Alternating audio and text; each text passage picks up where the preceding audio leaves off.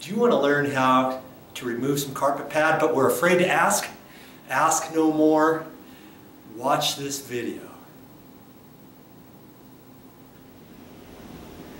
Now I'm ready to remove this and most carpet pad is generally stuck down with some glue. They might have taken a, a glue bottle and just ran it back and forth, opened up a quart container and just dribbled it along there and go back and forth like this. They don't usually trowel this down.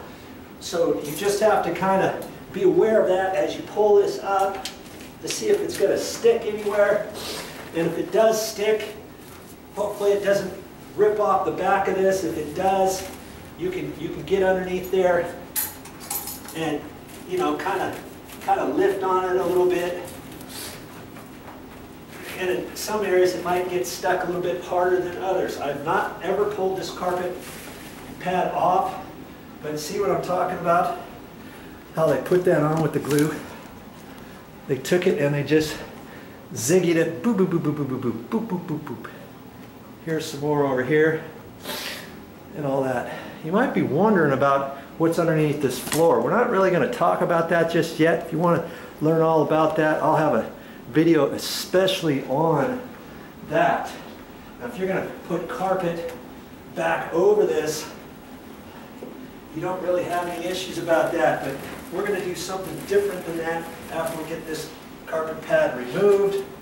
So you might want to keep watching my channel and find out all about that. Okay? Just going to then now go ahead and pull this back a little bit.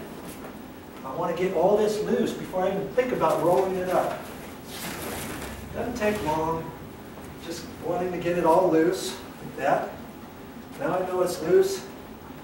And because, because I cut the masking tape there, it ripped off, it came out nice and clean along there. I could roll this up just like a piece of carpet, can't I? Now, if you don't, if you don't cut this line, lots of times it'll rip and then it rips along that way and back and forth and pretty soon you got to mess with that. You can't roll everything up nice and easily. Okay? So, at this point, I'm going to roll this up. Let's see if you can see all what I'm doing here. Get this situated back here a little bit. Roll it up just like I did the carpet.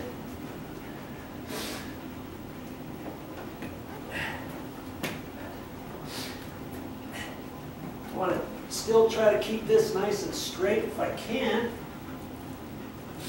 I'm here by myself doing this. You don't really need a helper unless you want to. Obviously, two people are quicker than one. Okay? There we go. Now, I'm going to take that against the wall so it doesn't want to unroll itself like that. Okay? And I can go for the next one. You'll be done in a flash.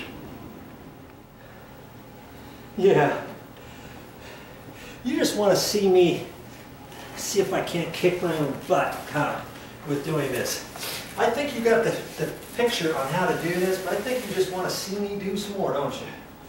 Okay, get it up that far. I know it's all loose now. Set that back down. And I'm going to pull this I'm going to pull this up. I'm going to loosen that up. Make sure it's all unstuck first, okay? Just like that. And I can set this back down. I mean, I could, I could take this whole thing. Let's do this a different way this time, shall we? Let's, I'm to get this situated. We're to roll this up slightly different. Just to let you know, is there just one way to do things? Absolutely not always two ways to skin a cat, so to speak. Now that's just the same. Okay, I'm going to pull this over, line it up like that. Looks nice and straight. Now I can roll it up. Just make it slightly quicker because I'm only rolling up half, half it now, right? if you got to do a whole house, let's say, maybe you can save a little bit of time and tell your helper how to do it this way. You know, don't just leave it like that because it could unroll, see? So with it being here, I'm just going to lift it around. I'm going to gently put it here like that. Now it can never roll back on itself, can it? Hey, just something quick.